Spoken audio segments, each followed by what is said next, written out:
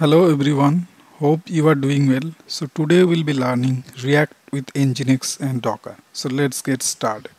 So first we'll clone a repository uh, from our sample project and it is given in the GitHub. So you can clone this repository for usage for in this tutorial. So I'm cloning this repository in my local. So you type git clone and the repository address. Okay so I'll be using Visual Studio Code to edit the project files okay? So we'll be modifying the docker files and the docker compose file. So you have to only do this. You can also make contents to the projects if you want but only docker and docker compose file is enough to learn in deployment with nginx of react app okay so you can clear the contents of the existing docker file and write a new one. So i'll show you the contents. Okay. So it will have a two stage build stage 1 and stage 2 so in stage 1 i'll be building a react app and i'll be using the same in stage 2 which will be used for nginx image build. Okay. So this is a multi-stage docker build and in one command you can build react app and deploy it in nginx in a docker container. So this is very helpful and you can use in for deployment in prod where the request will be served from nginx and that is the standard approach for deployment.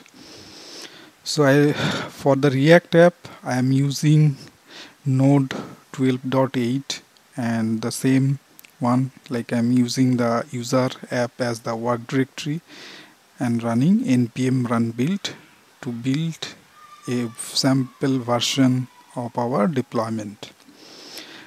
And in the stage 2 I'll be using Nginx Alpine the base image of Nginx and we'll be copying the contents which we built in stage 1 of our React app from the build directory and put it in Nginx so this is the nginx alpine and then we have work directory as nginx html that is the work. So we clear the contents from it and then copy user app build the contents from there to the nginx work directory. Okay. Yeah. So under user src app build you can find uh, the stage of react like after build all those files will be there. Okay. And here we are copying it. And this is our entry point for running the nginx container. So we'll be so after building it only one image will be built and we'll be running that image.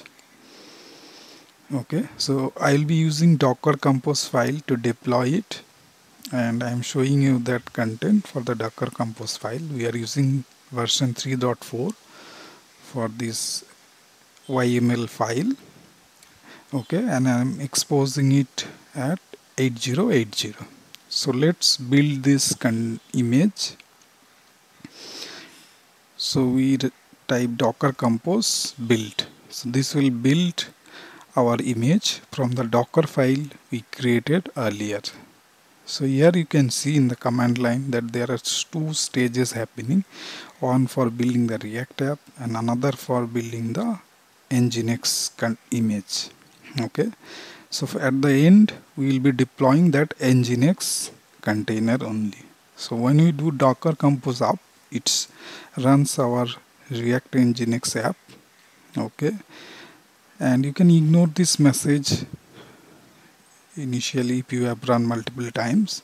So if we do a docker ps we can see our running container which is running at 8080 okay.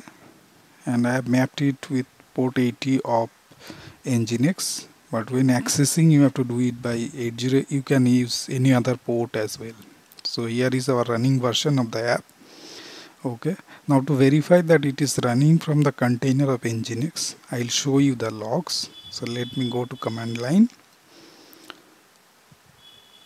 and here you have to take the container name and type docker logs the container id and you can give minus f that is the trailing log happening in the container.